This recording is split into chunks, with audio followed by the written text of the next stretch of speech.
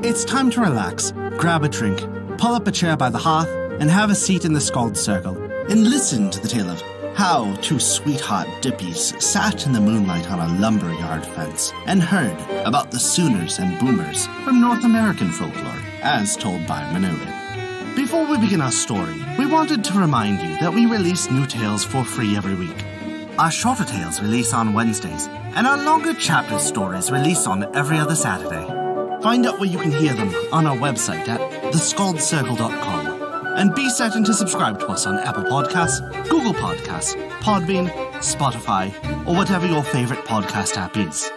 That way, you'll never miss out on one of our enchanting tales from around the world.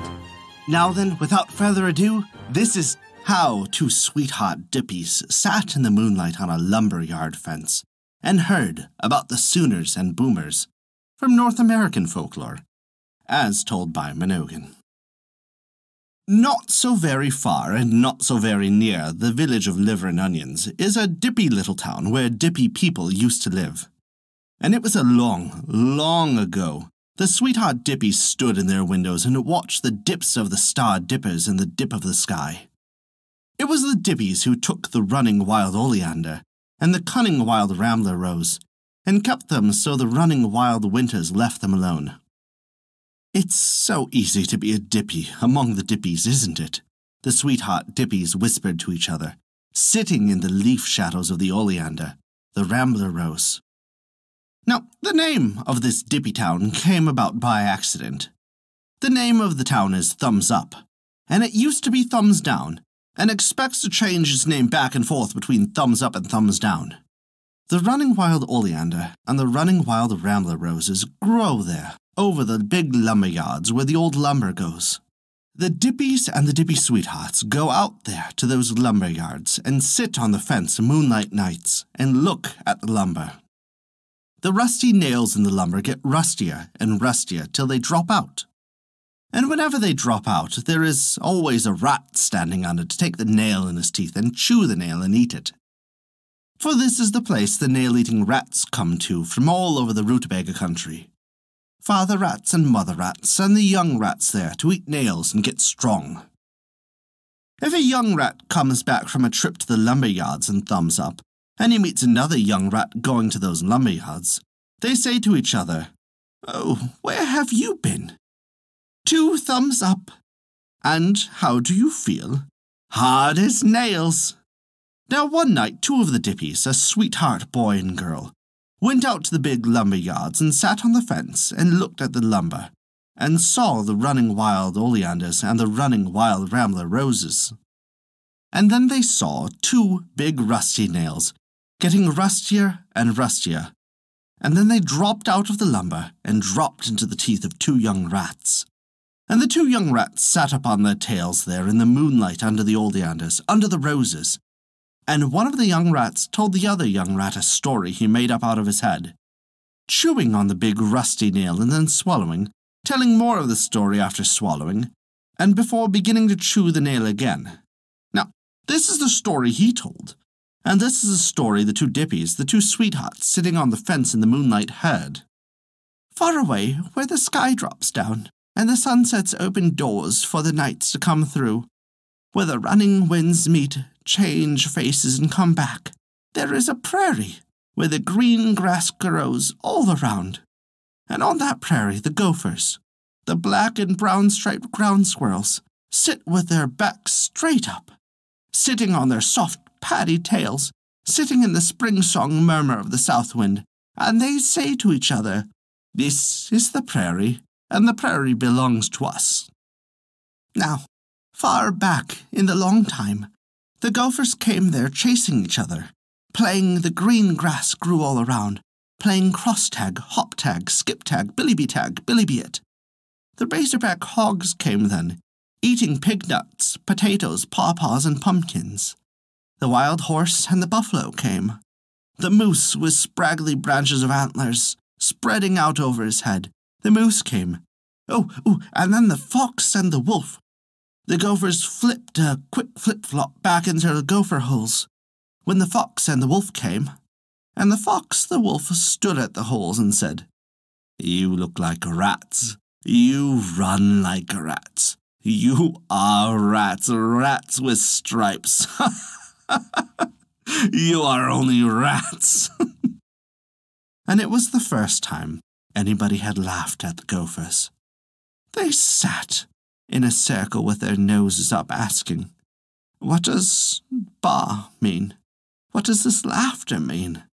And an old timer with his hair falling off in patches, with the stripes on his soft paddy tail patched with patches, this old timer of a gopher said, Ba speaks more than it means whenever it is spoken. Then the Sooners and the Boomers came, saying Ba, and saying it many, many new ways, till the fox, the wolf, the moose, the wild horse, the buffalo, the razorback hog picked up their feet and ran away without looking back. The Sooners and the Boomers began making houses, sod houses, log, lumber, and plaster and lath houses, stone, brick, steel houses. But most of the houses were lumber with nails to hold the lumber together, to keep the rain off, and push the wind back, and hold the blizzards outside. In the beginning, the Sooners and Boomers told stories, spoke jokes, made songs, with their arms on each other's shoulders. They dug wells, helping each other get water. They even built chimneys together, helping each other let the smoke out of their houses. And every year, the day before Thanksgiving, they went in cahoots with their post hole diggers and dug all the post holes for a year to come. That was in the morning. In the afternoon, they took each other's cistern cleaners and cleaned all the cisterns for a year to come. And the next day on Thanksgiving, they split turkey wishbones and thanked each other. They had all dug the post holes and all the cisterns cleaned for the year to come. If the boomers had to have broom corn to make their brooms, the Sooners came saying, Well, here's your broom corn. And if the Sooners had to have a gallon of molasses, the boomers came saying, Oh, here's your gallon of molasses. And they handed each other big duck eggs to fry, big goose eggs to boil, purple pigeon eggs for Easter breakfast. Wagon loads of buff banty eggs went back and forth between the Sooners and Boomers. And they took big hay racks full of buff banty hens and traded them for hay racks full of buff banty roosters. And one time, at a picnic, one summer afternoon, the Sooners gave the Boomers a thousand golden ice tongs with hearts and hands carved on the handles. And the Boomers gave the Sooners a thousand silver wheelbarrows of hearts and hands carved on the handles. Then came the pigs, pigs, pigs, and more pigs. And the Sooners and Boomers said the pigs had to be painted. They then went to war to decide whether the pigs should be painted pink or green, and pink won. The next war was to decide whether the pig should be painted checks or stripes, and checks won. The next war after that was to decide whether the check should be painted pink or green, and green won. Then came the longest war of all, up till that time, and this war decided the pig should be painted both pink and green, both checks and stripes. They rested then. But it was only a short rest, for then came the war to decide whether peach pickers must pick peaches on Tuesday mornings, or on Saturday afternoons, and Tuesday mornings won. That was a short war. Then came a long war to decide whether telegraph pole climbers must eat onions at noon with spoons, or whether dishwashers must keep their money in pig's ears with padlocks pinched on with pinchers. So the wars went on. Between wars, they called each other goofs and snoofs, grave robbers, pickpockets, porch climbers, pie thieves, pie face, mutts, bums, big bums, big greasy bums, dummies, mummies, rummies, sneezicks, bohunks, wops, snorkies, ditch diggers, peanuts, fatheads, sapheads, pinheads, pickle faces, horse thieves, rubbernecks, big pieces of cheese, big bags of wind, snabs, scabs, and dirty snivelling snitches. And sometimes they got tired of calling each other names then they scratched in the air with their fingers and made faces with their tongues out, twisted like pretzels. After a while, it seemed there was no corn, no broom corn, no brooms, not even tiny sweepings of corn on broom.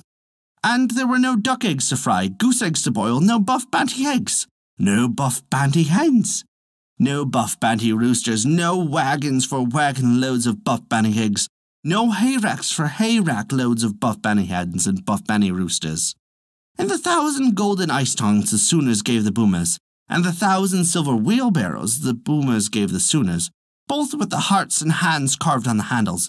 They were long ago broken up in one of the early wars, deciding pigs must be painted both pink and green with both checks and stripes. And now, at last, there were no more pigs to paint either pink or green or with checks or stripes. The pigs, pigs, pigs were gone.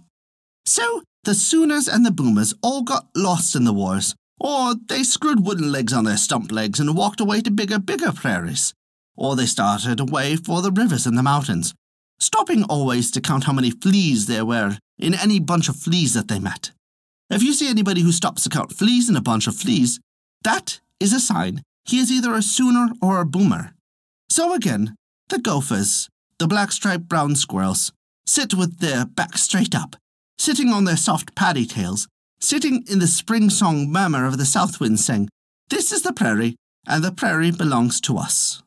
And then far away today, where the sky drops down and the sunset opens doors for the nights to come through, where the running winds meet changing faces and coming back.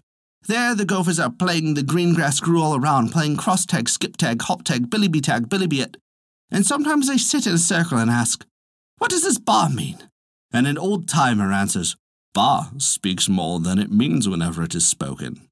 So that was the story the young rat under the oleanders, under the roses, told the other young rat, while the two sweetheart dippies sat on the fence in the moonlight, looking at the lumberyard and listening. The young rat who told the story hardly got started eating the nail he was chewing, while the young rat that did the listening chewed up and swallowed down a whole nail. As the two dippies on the fence looked at the running wild oleander and the running wild rambler roses over the lumber in the moonlight, they said to each other, It's easy to be a dippy among the dippies, isn't it? And they climbed down from the fence and went home in the moonlight. And that is the story of how two sweetheart dippies sat in the moonlight on a lumberyard fence and heard about the Sooners and Boomers. Thank you for listening to our story. If you enjoyed it, we recommend taking a look at our Patreon page as noted in the description below. You can earn great rewards while also supporting us to keep these stories alive for future generations to come.